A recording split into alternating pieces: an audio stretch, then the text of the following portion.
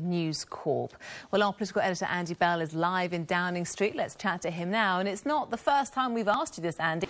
As we can see in your report there, the Culture Secretary wasn't talking this morning, Andy. So when will we hear from him? Thursday, Emma. Now, she has a privileged life as the daughter of a wealthy businessman. But today, Laura Johnson was jailed for two years for driving around a gang of looters during last summer's riots. The 20-year-old took the group through London. It's a sunny Friday afternoon. Thank you so much for joining us.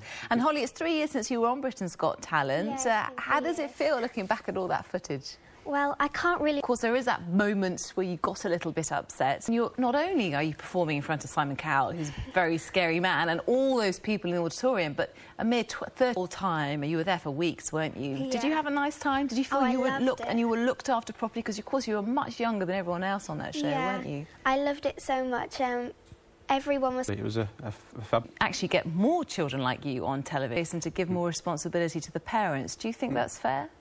Thing now, Holly. Um, well, I'm... I've got a new album. Taxi man, Jason. Yes, pretty much. for coming on, and Thank the you. best of luck for the future, Holly.